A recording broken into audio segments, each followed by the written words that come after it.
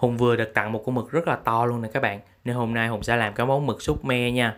Đầu tiên mực thì chúng ta rửa sạch và làm sạch hết rồi. Hùng cũng khử mùi hôi bằng gừng với bằng chanh đó các bạn. Tiếp theo thì kèm mình sẽ để nghiêng con dao á, mình khứa khứa như thế này nè, để một hồi mực chúng ta sẽ thấm và khi à, làm á nó sẽ bung lên thành cái bông đẹp lắm.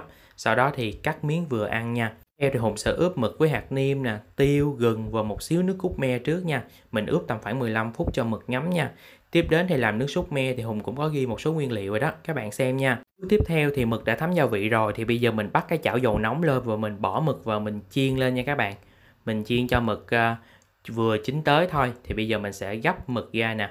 Sau đó thì mình phi hành tím và tỏi cho vàng lên và mình đổ cái sốt me vào khi mà cái sốt me nó hơi sắc sắc lại á nó kẹo lại thì mình đổ mực vào mình trộn đều lên nè. Bước cuối cùng thì trước khi tắt bếp thì mình sẽ cho vào đó gừng và ớt nha các bạn. Mình trộn đều lên như vậy là cái món mực sốt me của mình xong rồi đó. Món này á, cũng nằm trong những món say mồi khi nhậu luôn đó nha. Và một trong những món hao cơm luôn đó. Nhớ bấm follow để xem thêm nhiều clip mới nhất của mình nha.